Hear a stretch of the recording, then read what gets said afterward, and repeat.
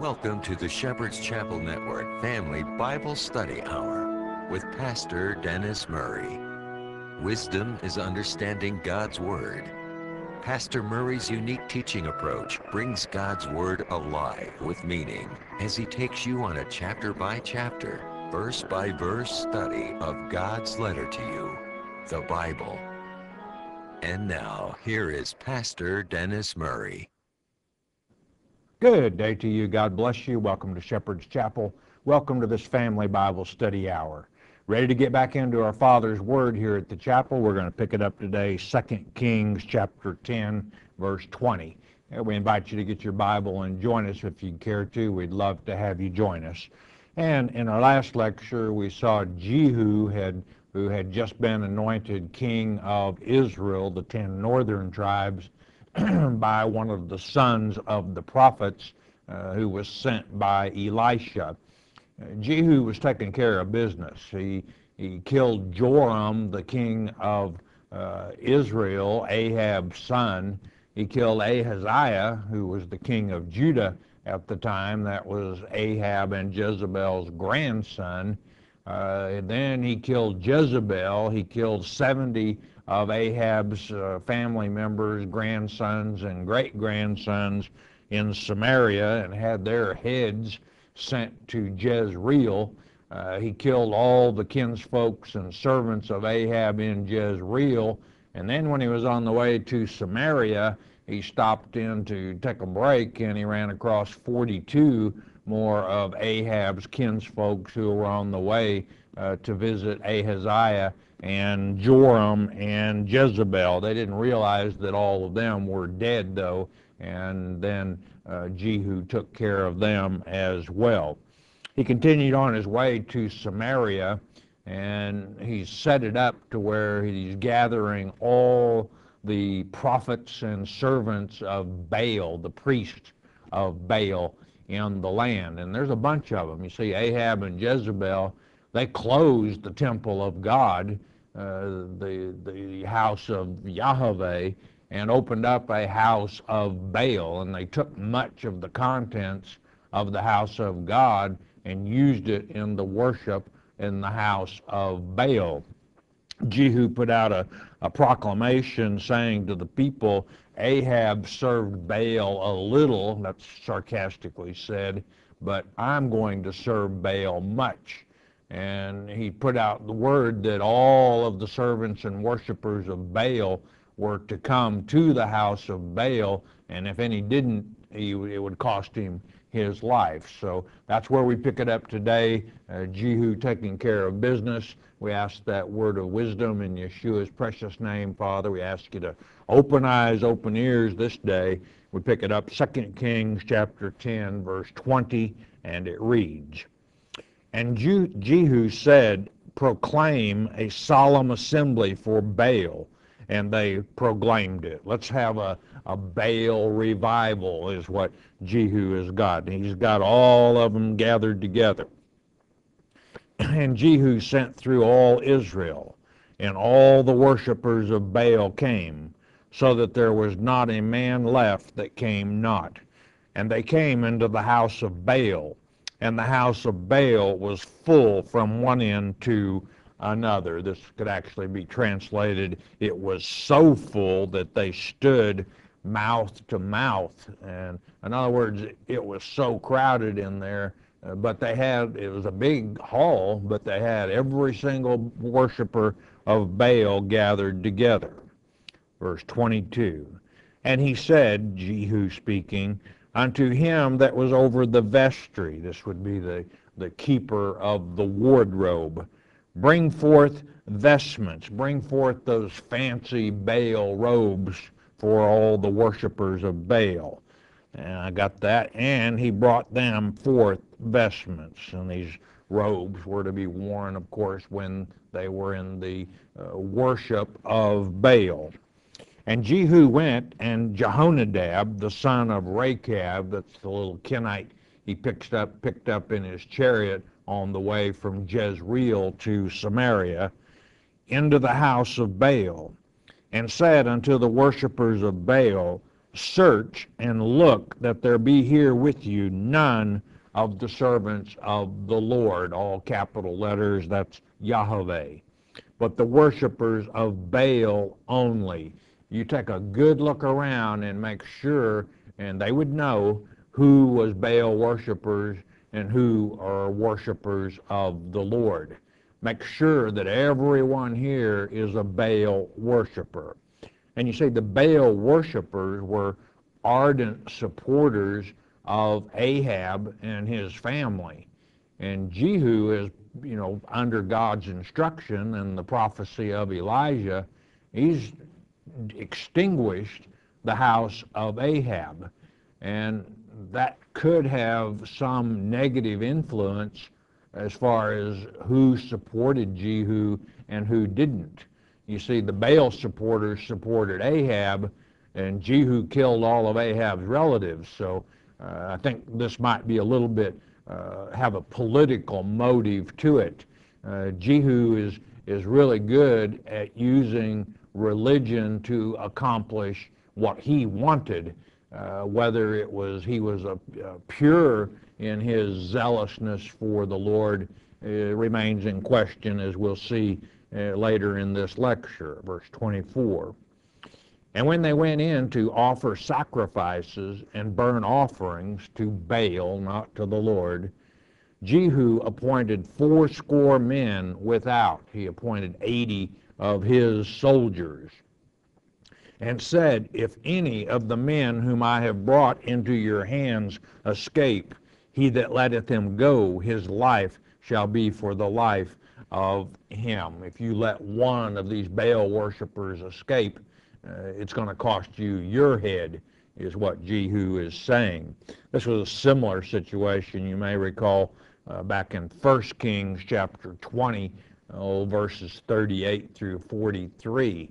You remember when Ahab and Israel were fighting against Benhadad, the king of Syria. And God gave Ahab and Israel the victory over Benhadad. And what did it did Ahab do?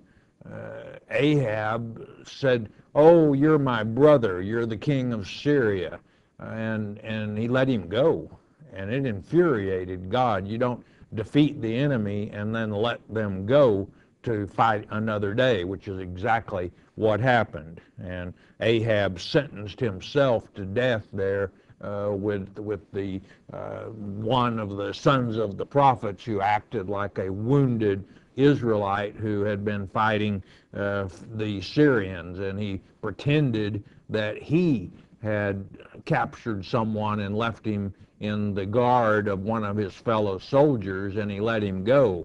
And Ahab said, Well, he should die, and uh, that was his sentence, all right. Verse 25. And it came to pass as soon as he uh, had made an end of the offering, of the burnt offering, this would be one of the Baal priests, probably the head Baal priest, that Jehu said to the guard and to the captains, Go in and slay them. Let not uh, let none come forth. And they smote them with the edge of the sword. This edge in the Hebrew is the mouth of the sword stated for uh, drinking the blood of the victims. And the guard and the captains cast them out and went to the city of the house of Baal. This last phrase makes uh, entirely no sense at all. There is no such thing as the city of the house of Baal. Uh, check out that word, the city, and you'll find that it's a protected uh, part. It can be translated city, but I believe it should have been translated here the innermost or least accessible part. In other words, this is stated that they got every single one of them, even those who ran to the innermost part of the house of Baal uh, trying to hide. 26.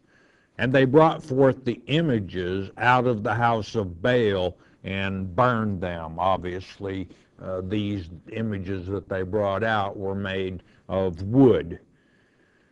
And they break down the image of Baal, this one no doubt made of stone, and break down the house of Baal and made it a drought house unto this day, made it a, a dunghill or a latrine.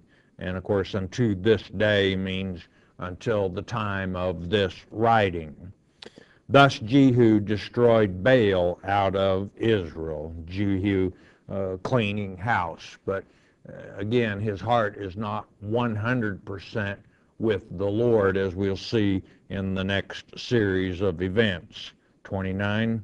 Howbeit, from the sins of Jeroboam, the son of Nebat, this was the first uh, man king of Israel, the ten tribes to the north after the nation split, who made Israel to sin, Jehu departed not from after them to wit, or namely, the golden calves that were in Bethel and that were in Dan. The people of Israel just could not seem to break away from the golden calves. And Jeroboam made those golden calves, you remember, so that people wouldn't go all the way to Jerusalem, which was under Judah's control at the time. You don't have to go all the way down to Jerusalem to worship the Lord. Here are your gods, these two golden calves. Many people looked upon, uh, of Israel, looked upon the worship of these golden calves uh, as, as a type of Yahweh worship. However, it was illegal uh, worship of him at best. Close observation of Jehu's practices shows that he utilized religion to accomplish his own personal goals and agenda. Verse 30.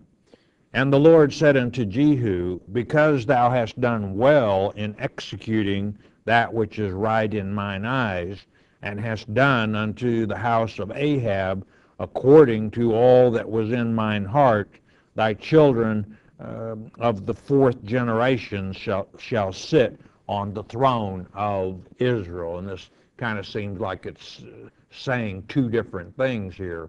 The Lord was happy with the fact that Ahab had exterminated the house of Ahab as he was instructed to.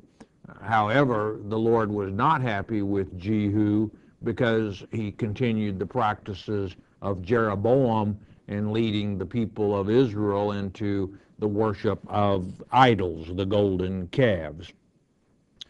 This children of the fourth generation shall sit on the throne of Israel doesn't seem like an extremely long line, but it is the longest uh, existing seed line, or Uh, not existing, but of all the kings of the ten tribes to the north, four generations was the longest of one family to reign over the ten tribes to the north. Verse 31. But Jehu took no heed to walk in the law of the Lord God of Israel with all his heart, for he departed not from the sins of Jeroboam, which made Israel to sin. As the leader of the nation goes, uh, so goes the nation usually. And he was leading them into calf worship. Verse 32 when you don't worship the Lord uh, properly, he'll chastise you, and that's what happens. Verse 32. In those days, the Lord began to cut Israel short. In other words, the borders became shorter and shorter. And Hazael smote them in all the coast or borders of Israel. Hazael appointed, uh, then prophesied by Elisha, uh, Elijah actually, that Hazael would be the king of Syria. Elisha, uh, while visiting in Damascus, carried out the anointing of this one Hazael. You might remember uh, this is in 2 Kings chapter 8, verse 11, that when Elisha anointed uh, Hazael king of Syria, he locked eyes on uh, Hazael and he wept. And Hazael said, "Why are you Why are you weeping?" And he said, "The Lord showed me what you're going to do to my nation, Israel, killing the young men, uh, ripping the children from the mother's wombs, etc. it's coming to pass. It all, the Lord's word always does come to pass. His prophecies, verse 33. From Jordan eastward, all the land of Gilead on the east side of Jordan, the Gadites and the Reubenites and the Manassites uh, from Aroer, which is by the river Arnon, even Gilead and Bashan. These are uh, when Israel was coming into the promised land. Uh, they defeated the owners of the land on the east side, Gilead as it's known. And the tribes of Gad, uh, Reuben, and half of Manasseh said, You know, Moses, this land here is good for cattle, and we have uh, uh, large herds. Let us take our inheritance in the promised land here. And Moses petitioned the Lord, and the answer from the Lord was, You leave your children and your herds and flocks here, and, but you gird yourselves for war and enter into the promised land and help your brethren defeat the Canaanites. So the, the, the Syrians took basically uh, a portion of Israel that was on the east side of Jordan. 34. Now the rest of the acts of Jehu and all that he did and all his might, are they not written in the book of the Chronicles of the kings of Israel? And yes, they had. And, and yes, they are. And Jehu slept with his fathers, and they buried him in Samaria. And Jehoahaz, his son, reigned in his stead. God promised uh, four generations of Jehu's descendants would sit on the throne, and that came to pass. Jehoahaz means uh, Yahweh seized.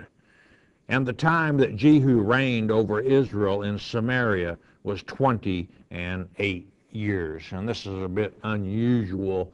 Normally, the, when a king is first introduced of Israel or Judah for that matter, when a king is first introduced, that's when the number of years that he reigned is stated.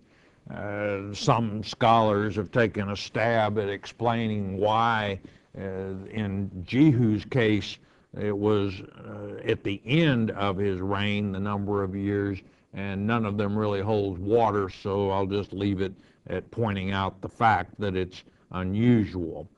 Chapter 11, now we switch gears back to what's going on in Judah. Let's go with verse 1. And when Athaliah, the mother of Ahaziah, saw that her son was dead, Jehu killed him, you remember, she arose and destroyed all the seed royal. Now, what is she doing here? You see, uh, Ahaziah was her grandson. So, what is she doing? She's killing all of her grandsons who might have a right to claim the throne of Judah. You see, when Ahaziah uh, was first appointed king, I pointed out you won't believe who reigns over Judah next. It's Athaliah. Why? Because she killed all of the sons uh, of uh, Ahaziah, uh, her grandsons, so that she could sit on the throne. Verse 2 but Jehosheba, the daughter of King Joram, sister of Ahaziah, took Joash, the son of Ahaziah, and stole him from among the king's sons, which were slain. No doubt he was left for dead among the corpses of his brothers. And they hid him, even him and his nurse, in the bedchamber from Athaliah, so that he was not slain. Jehosheba, by the way, was uh, Joram's daughter, but he was not. She was not Athaliah's daughter. In other words, uh, they they shared the same uh, father, but not the same mother. In Second Chronicles uh, chapter 22, verse 11, where she is called Jehoshabeath, uh, she's also listed as the wife of Jehoiada, which was the priest, probably uh, better stated, the high priest at the time. but she's protecting uh, the seed line of David in, in what she's done here. verse 3. And he was with her, this is uh, Joash, uh, yeah, and he was with her hid in the house of the Lord six years. And Athaliah did reign over the land. And uh, while she was the queen of, of Israel, Judah, I should say, she stripped uh, the temple basically bare uh, and sent all of it to the Baal temples. The, the house of God was greatly neglected uh, during this period of time. Uh, when Joash takes the throne, one of the first things he will do is order the refurbishing of the house of God. And you might think, well, the house of the Lord wouldn't be a very good place to hide Joash. Well, you see, under Athaliah, the house of God was pretty well shut down. There wasn't anybody going to the temple, the house of Yahweh. So it was a very good place to hide Joash where Athaliah wouldn't find him. If she had found him, she definitely would have done the same thing to him that she had done to the rest of Ahaziah's descendants, uh, killed him. She's a murderess. Verse 4. And the seventh year, Jehoiada, this is the high priest at the time, also a brother in law to Ahaziah, he was an uncle to Joash, as Jehosheba was his aunt, sent and fetched the rulers over hundreds, with the captains and the guard, the king's bodyguards, and brought them to him into the house of the Lord, and made a covenant with them and took an oath of them in the house of the Lord and showed them the king's son. Note that he made them uh, on an oath uh, swear to silence before he showed them uh, Ahaziah's son Joash. And note here we've got Jehoiada uh, calling together the rulers of the military uh, the, the captains and the guard, the bodyguards of the king, but nothing mentioned of the priests. And in Second Chronicles chapter 23, verse 2, it states that also had the Levites out of the cities, their cities, their home cities, gathered together. Uh, when we began the Kings, I pointed out to you that Samuel and Kings are history from man's point of view, whereas the Chronicles are more of, of, of God's point of view. And we see in Chronicles a lot more emphasis on the role of the Levites and the priests in bringing Joash, uh, the rightful heir to the throne. Uh, here in Kings, we see more the, the military uh, predominantly taking the lead verse 5. And he commanded them, this is Jehoiada the high priest, saying, This is the thing that ye shall do. A third part of you that enter in on the Sabbath shall even be keepers of the watch of the king's house. He's positioning them to where they can protect Joash from uh, being detected and seen uh, from Athaliah keeping Athaliah in the dark. Now, this coming in, enter in on the Sabbath, this is talking about the Levites, uh, in that they, uh, when they came in on a Sabbath, there were 24 courses of the priests, and each course served twice, two weeks out of each year, and then the three major festivals uh, Passover, the Feast of, of uh, uh, Pentecost, as it's called today, and the Feast of Tabernacles all went in. The Feast of Weeks is what I was trying to think of under the Old Testament. Now, then let's go with verse 6. And a third part shall be at the gate of Sur, and a third part at the gate behind the guard. Again, he's positioning them where they can protect Joash from uh, Athaliah. So shall you keep the watch of the house, that it be not broken down, so that Athaliah uh, doesn't wise up and kill Joash as well. Verse 7 and two parts of all you that go forth on the Sabbath, uh, even they shall keep the watch of the house of the Lord about the king. And this is talking about uh, the, those who have the assignment of being uh, porters or doorkeepers. You could uh, think of them as security, and that would be pretty accurate. Verse 8 And ye shall compass the king round about, every man with his weapons in his hand. And he that cometh within the ranges or the ranks, let him be slain. And be ye with the king as he goeth out and as he cometh in every single minute. Again, if Athaliah knew that Joash was alive, she would do everything in her power to kill him.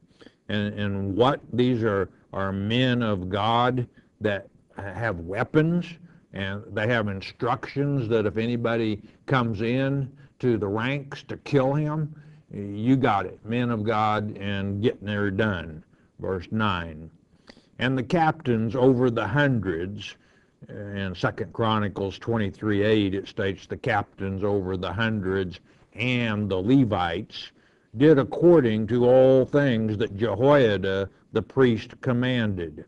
And they took every man his men that were to come in on the Sabbath, uh, with them that should go out on the Sabbath, and came to Jehoiada the priest.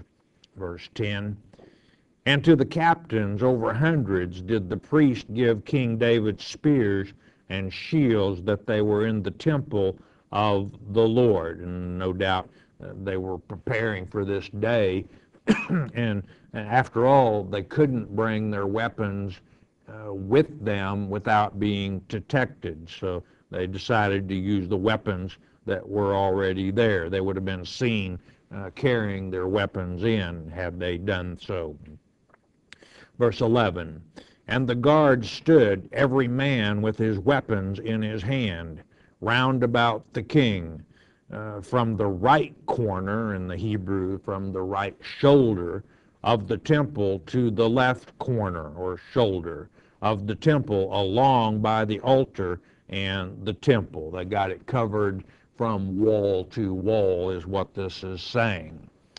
Verse 12 And he brought forth the king's son, Ahaziah's son Joash, at the age of seven, and put the crown upon him, and gave him the testimony. What's the testimony? Uh, Deuteronomy chapter 17 states that every king of Israel is to have a copy of the God's law, and that's what the testimony is. And they made him king and anointed him, and they clapped their hands. No doubt they were joyful that Athaliah was not going to be in control, and said, God save the king. In the Hebrew, this is, let the king live. Uh, God in control, utilizing the priest uh, to protect uh, the king line of David. And that king line promised in, in Samuel that would be never ending, and it will be uh, never ending when David's uh, son or his descendant, Jesus Christ, returns at the second advent and reigns as King of Kings and Lord of Lords. I say, Come, Jesus, come. Verse 13. And when Athaliah heard the noise of the guard and of the people, she came to the people into the temple of the Lord. Athaliah, a lot like her mother Jezebel, uh, no doubt uh, pretending that I'm in control. Uh, this is, I'm on the throne, but not anymore. Verse 14. And when she looked, behold, the king stood by a pillar as the manner was. This was the uh, brazen scaffold that Solomon had made, and the first time it was utilized was at the dedication of the temple. This was a standing place that the king normally uh, took the position on the eastern gate of the inner court. And the princes and the trumpeters by the king, and all the people of the land rejoiced and blew with trumpets. And Athaliah rent her clothes and cried, Treason, treason when she realized what had happened. In the Hebrew, this treason, treason is conspiracy, conspiracy. And you know, that's exactly how she came to power uh, was conspiracy. That's how she's going to lose power as well. But Jehoiada the priest commanded the captains of the hundreds, uh, the officers of the host, the army, and said unto them, Have her forth without the ranges. In other words, uh, through the ranks of the soldiers and the Levites. Uh, make a path to get her out of here. And him that followeth her, in other words, him that follows her to lift a finger to help her, kill with the sword. For the priest had said, Let her not be slain in the house of the Lord. Don't defile the temple with the blood of this murderess. And as they laid hands on her, and she went by the way, by the way which the horses came into the king's house, and there was she slain. Finally, at last, she got her just uh, desert. Uh, and you might think, well, you know, that was awful mean of them to do that to this woman. Uh, no, that's God's law. She obviously was a murderess. Her own grandchildren, for goodness sake did she murder? And uh, Numbers chapter 35, Deuteronomy chapter 19 state that's God's law. When someone commits premeditated lie in wait homicide, the penalty is death. And again, uh, Athaliah has received her just rewards. Verse 17. And Jehoiada made a covenant between the Lord and the king, Joash, and the people, that they should be the Lord's people between the king also and the people. A good start uh, to uh, renew the covenant with the Lord and to make, make it a promise that it's clear that under King Joash, we're going to be a nation that worships the Lord, not Baal.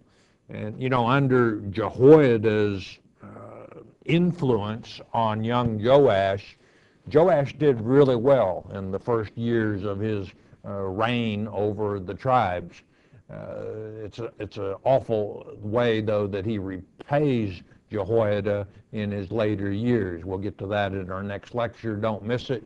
We've got a short message. We'll ask you to listen a moment, won't you please? Genesis 1:46, the first six chapters in God's Word. The world that was. Did you realize there was a world age before this one? Same old world, different age. The creation itself. When were the races created?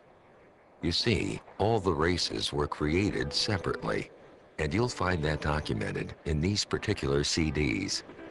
How and what was the sin in the garden? It will be discussed in this series also. This is a must for the serious Bible scholar. For if you do not understand how it was in the beginning, you certainly will never understand the end. I think you will find this series very rewarding and certainly will answer questions that no doubt you have always wondered about. Genesis 146. Hey, I know you're going to enjoy this series. Welcome back. We're glad you could join back with us. Let's have the 800 number, please. 800 643 4645. That number good throughout Puerto Rico, the U.S., and Canada.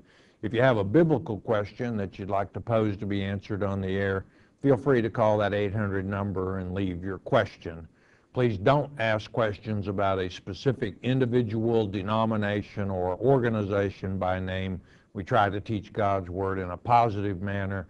Uh, throwing out negative about others by name serves no purpose. We simply won't do it. If you're studying via the internet somewhere around the world that's unable to use that 800 number, your announcer at the end of the hour will give you our mailing address. Quite all right to mail your questions in being the point got a prayer request, we can do away with the telephone number. You don't need a telephone. You don't need paper and pencil and a mailing address. talk to your Heavenly Father. You know, He developed a means that you can communicate with Him. Doesn't matter where you are, what you're doing, day or night, anytime, you can talk to your Heavenly Father through prayer.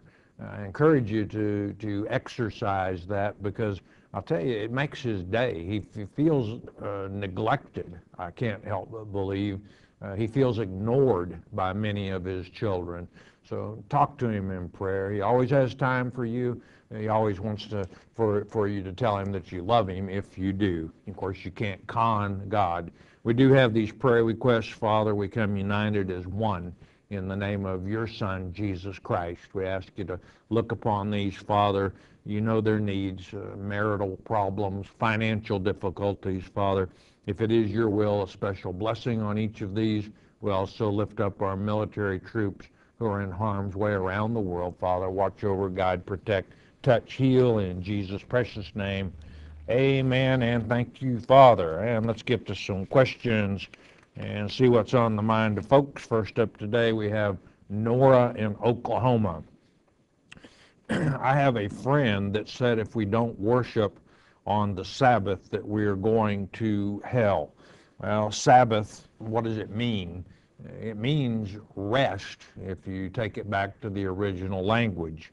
In Hebrews chapter 4, uh, we learn that our rest is Jesus Christ. And I submit to you that if you don't put your rest in Jesus Christ every day, uh, you have no rest. Uh, don't be a one day a week Christian. Uh, we, we worship uh, every day here at Shepherd's Chapel. Elizabeth in Kentucky, is it an abomination to combine Christmas and the conception of Jesus together. No, I don't think so. Uh, Christmas is a very special time of the year. Uh, the conception date of Jesus Christ, and if you're not familiar with that, you might want to order Pastor Arnold Murray's work, Christmas, which helps you document that he was conceived on December 25th, born on September 29th. And, you know, the word became flesh on December 25th, and that is indeed something to celebrate. Julie from Washington. Were the angels that followed Satan in the first world age and the fallen angels that came to earth to seduce women the same angels? You're confusing uh, those who uh, supported Satan, a third of God's children in the first earth and heaven age, with the fallen angels. There were a lot less fallen angels that came to earth in Genesis chapter 6. and let's see. Were they all born of woman even though they refused? No, that was the, the, the thing that they sinned the most was they didn't do things God's way. It was God's plan that all uh, souls be born in the flesh one time. But as it's written in Jude uh, chapter 1, verse 6, they left their habitation, meaning heaven, and came to earth, and they saw the daughters of Adam, and they took them to wife. Uh, they're coming back, and Christ warned us about it in Matthew chapter 24 when he said it's going to be just like in the days of Noah. They're going to be eating and drinking and giving and taking in marriage. Mike in Washington, why were some books left out of the Bible and put in the Apocrypha? Well, uh, the Apocrypha was in, included in the King James Version original 1611 Bible but the powers that be in the church did not canonize the books that you find in the Apocrypha. Uh, are they biblical? Well, it's like anything else that you read. If it aligns with God's Word, it's probably accurate. If it doesn't align with God's Word, it's rubbish. Also, do you know about the book of Jasher? It is talked about in Joshua 10:13 and yeah I'm familiar with the book of Jasher but it's not biblical Uh, we don't offer the book of Jasher in our library here, so that kind of tells you uh, what we think about it. Susie in Mississippi, I'm black, so out of the 10 tribes, what tribe did we come out of? All of the 12 tribes of Israel were sons of Jacob, which means that they were Adamic. Uh, blacks are descendants of the sixth day creation, which you can read about in Genesis chapter 1. Uh, some falsely teach that blacks were a result of what happened in Genesis chapter 9 when Ham uncovered his father's nakedness, which means he slept with his own mother, and uh, Canaan was the result. And many people think that God cursed Ham, and for this, and Canaan's skin turned black. Well, that's not the way it works. You don't, uh, you don't have two people of the same race have an incestuous relationship and it changes the color of the child's skin. That's biologically impossible. And you know, it wasn't God who cursed uh, Canaan, it was Noah who cursed Canaan and sent him away. Why? He didn't want a constant reminder uh, uh, running around uh, uh, reminding him of what his wife and his son did. Stan in Utah or Vermont, I'm not sure, the wife of Abraham, was she Adamic or Arabian race? Well, which one? You know, both of, of Abraham's wives, Sarai, uh, later her name changed to Sarah, and Keturah, uh, you can read about in Genesis chapter 25, were Adamic. Doris in Georgia. Now, he did have a, uh, Sarai had a handmaid. She was not able to bear children for many years, and Hagith, I believe was her name, and Abraham knew her, and Ishmael was the result. Uh, Ishmael sent away later by Abraham when he did marry Sarah, and she was able to give him a child, and Isaac was his name. Uh, I believe Ishmael was the origin of the Arabic uh, races of today. Doris in Georgia. In Mark 10 is Thaddeus, the Hebrew, uh, for Timothy uh, in the English. No, uh, Thaddeus uh, mentioned in Mark chapter 3, verse 18, and also Matthew chapter 10, verse 3, is one of the original 12 disciples of Christ. And of course, they all became apostles, not Timothy. Timothy uh, came along under the tutelage of, uh, uh, Paul later years than what the disciples were. Stan in Vermont, and uh, there being 24 weeks to the Levitical priest to serve twice a year uh, gives us 48 weeks. We covered that in today's lesson. If all the priests served on the three major feast days, how does this add up to 52 weeks? I get 51 weeks. Well, I'd refer you to your Smith's Bible Dictionary. You see, 52 weeks comes out to 365 days in the year.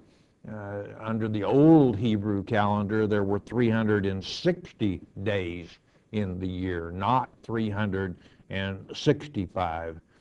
And, you know, uh, late, and by the way, the sacred year uh, began, there were two basic years in Old Testament times. The sacred year, which began in at the vernal equinox, the spring equinox, if you will, uh, was Abib on the Hebrew calendar. Then the civil calendar actually began six months later uh, at the Feast of Tabernacles at the autumnal equinox. And uh, enough on that. Suzanne in Georgia. I heard Pastor Murray say that Christ will come on the seventh trump. What does a trump mean? Well, the trumps are events that must come to pass as listed in Matthew chapter 24 and Mark 13. They must come to pass before Christ returns. At the beginning of Matthew 24, Jesus is walking with some of his disciples, and they say, Master, look at these buildings. And, and Jesus said, You know, not one stone will be left standing atop of another uh, when the Antichrist is here. And then he went on to tell them, they asked him, What's it going to be like when you return at the second advent? And Jesus went on to tell them and us in Matthew 24 and Mark 13.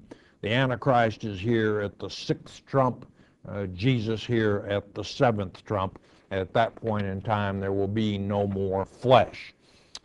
Dave in California, the four horsemen, the last one is pale. When you look up pale, it means green. What do you think that means? Well, you'll find the four horsemen in Revelation chapter 6, uh, verses 7 and 8. Uh, when the fourth seal is opened, uh, the fourth beast, which is a living creature, uh, said to John, Come and see. Behold, a pale horse. And you're right, if you check it out in your Strongs, it's a, a greenish colored and, in his name that sat upon the pale horse was death. And this, of course, uh, I, I, believe uh, the Kenites uh, at that point in time are in power. Look around today, leading people to a spiritual death, not a death of the flesh, but a spiritual death. Gretchen in California I married a Hindu man 17 years ago. He treats me like a queen. He does his religious thing, and I do mine. We have a home, plenty of food, clothing, and am not in want for anything. Sometimes he watches your show with me. I wanted to know if God will look down on this marriage. I thought you said, let no one judge you in marriage. Sometimes I question this marriage because he is Hindu.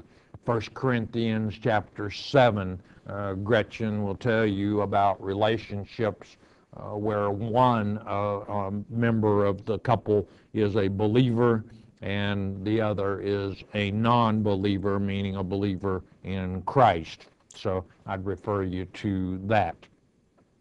Jerry in Arkansas, is God only going to allow 200,000 into the kingdom of heaven after he comes back and gets us. The Lord is returning here to stay, Jerry. He's not coming back to get uh, any of us or some of us.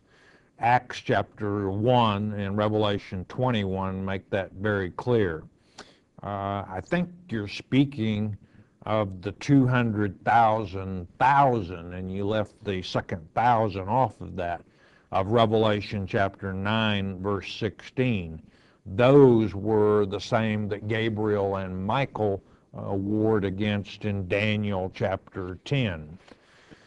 Dan in New York, uh, what is the pastor's opinion on the prophecy God gives to David through Nathan, which says, I shall establish his kingdom forever, and he shall be a son to me, and I his father. This prophecy seems to be talking about Christ, but it's clear David and Solomon both believe it's talking about them. Well, the promise uh, is to David, and uh, the promise was that God would, you see, David was wanting to build God a house and God said, You know, I didn't ask you to build me a house, David, but I'm going to build your house, meaning your line of descendants, and it will be forever. There will always be someone of, of your loins, descendants, and uh, descendants to be on the throne. And this was fulfilled through David's son Nathan, not Solomon, actually you can uh, verify that in Luke chapter 3, in that Messiah uh, was born in the flesh, a descendant of David. And when he returns at the second advent, Uh, he will be on the throne forever as King of Kings, Lord of Lords. Very important that people understand and know the key of David. In Revelation chapter 3, verse 7, that key that opens doors that no man can shut and shuts doors that no man can open. Uh, it's the key, the key of David, that will open these scriptures where you can understand them. And it's all about uh, knowing that Jesus Christ was a descendant of David and that there are Kenites who claim to be of our brother Judah but do lie and are of the synagogue of Satan. Patricia in Missouri, why do you ask God to care for our military? I thought the Bible teaches he wants to save all. Well, I ask that God protect uh, our military troops who are in harm's way around the world uh, because they're brave men and women who are protecting our rights and freedoms. Uh, one of those uh, freedoms is the First Amendment, the freedom of speech. And it allows people, maybe even when they don't have something intelligent to say, to say it. They have the right to say it. Um, you know, uh, do you think that people who behead Christians, such as ISIS, should be saved? Well, you know, we, we, we don't here at the chapel. You also follow with what is a good, uh, uh, what Bible do you recommend as a study Bible? We recommend the Companion Bible. If you obtain the Companion Bible and you uh, obtain one from another source than Shepherd's Chapel's library, make sure which one you're getting. There are about five different Companion Bibles. You want one uh, by E.W. Bullinger, who was an outstanding Christian scholar uh, who, it's not a commentary Bible, but it has scholarly notes that help you and direct you in your studies.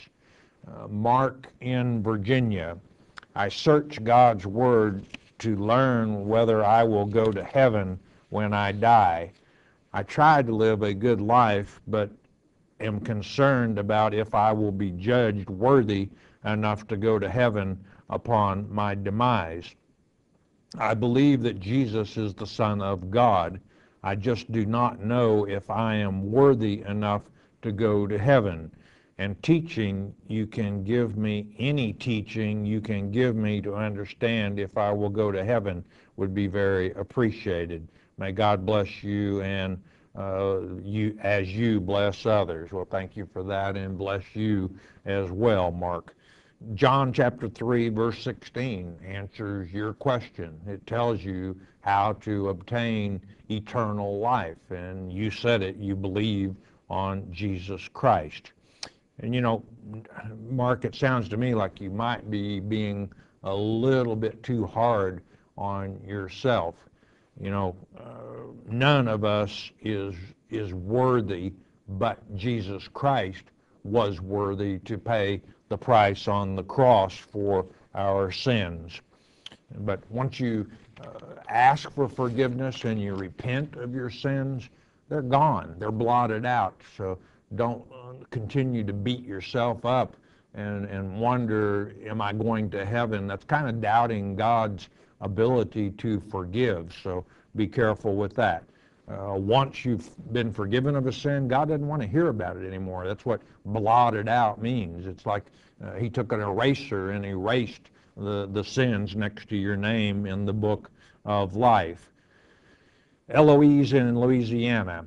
I was reading in Revelation or somewhere said, Behold, Satan has fallen from heaven as lightning. Now I hear he is still in heaven. Help me to understand. Okay, what you heard was when we're studying Luke chapter 10, verse 18. And that's prophecy there by Jesus himself that said, Behold, I beheld Satan fall as lightning, as a star from heaven. And that will happen. It is future. Revelation chapter 12, verse 6 and the following verses tell us when that will happen. And you follow with the second question if my neighbor's chickens get into another person's chicken yard and they claim it's theirs, should I let them keep it? What do you think I should do? Uh, this is all from your viewer. I love you all's teaching. Well, we're glad you enjoy the teaching. You know, that's why we brand our chickens here in Arkansas. I'm, I'm kidding. We don't really brand our chickens. That's what we do with cattle. And that way, if one gets in with another herd, we know which one's ours and which one's theirs. But I would, if I were you, I would talk to your neighbor and see how you're received. And if you, uh, if your neighbor hears you, you've got your chicken back. But if not, perhaps it's time to invest in a few posts and some chicken wire so that you can keep your chickens home. Daryl in Florida, I want to know where in the Bible it says that Jesus was nailed to a cross. Well, Colossians uh, chapter 2, verse 14 will get it said. Uh, the dogma of blood ordinances were nailed to the cross right along with Jesus Christ. Psalm 22:16, prophecy of the crucifixion, states they pierced my hands and my feet. Uh, that's prophecy of the crucifixion there in Psalm 22:16. I'm out of time. I love you all. Why? Because you enjoy studying God's Word in depth. And you know what? It makes God's day when He looks down and He sees you reading the letter that He wrote to you, the Bible. We are brought to you by your tithes and offerings. If we've helped you, help us keep coming to you. Won't you do that and to reach out to others who are lost in this world of darkness? One thing most important, though, and it's this you stay in His Word every day. Every day in your Father's Word is a good day, even with trouble. Do you know why? It's because Jesus is the living Word. Hearing God's Word with understanding will change your life. We hope you have enjoyed studying God's Word here on the Shepherd's Chapel Family Bible Study Hour with Pastor Dennis Murray. If you would like to receive more information concerning Shepherd's Chapel, you may request our free introductory offer. Our introductory offer contains the Mark of the Beast CD, our monthly newsletter with a written Bible study, a CD catalog, and a list of written reference works available through Shepherd's Chapel. To request our free introductory offer by telephone, call 800-643-4645, 24 hours a day. You may also request our introductory offer by writing to Shepherd's Chapel, P.O. Box 416, Gravette, Arkansas, 72736. Once again, that's Shepherd's Chapel, P.O. Box 416, Gravette, Arkansas, 72736. We invite you to join us for the next in-depth Bible study each weekday at the same time. Thank you for watching today's program, and God bless you.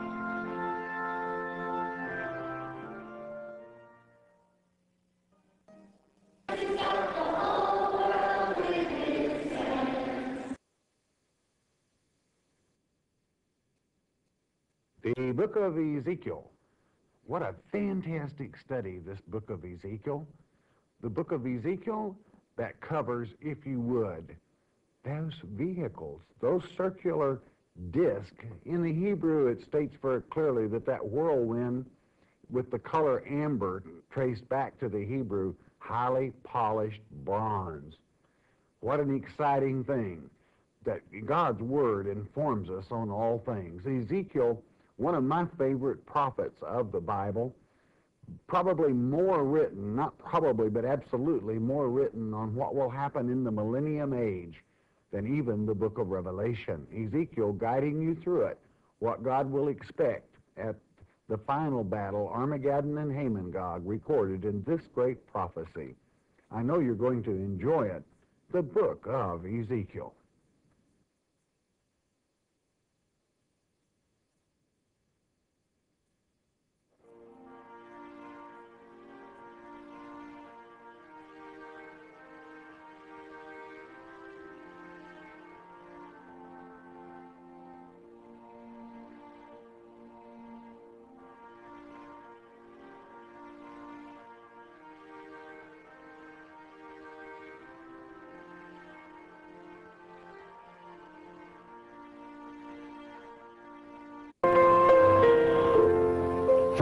Arkansas, this is Shepherd's Chapel with Pastor Arnold Murray.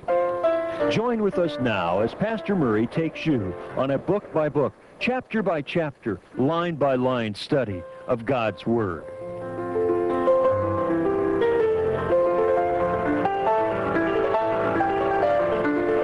Now, here is Pastor Murray.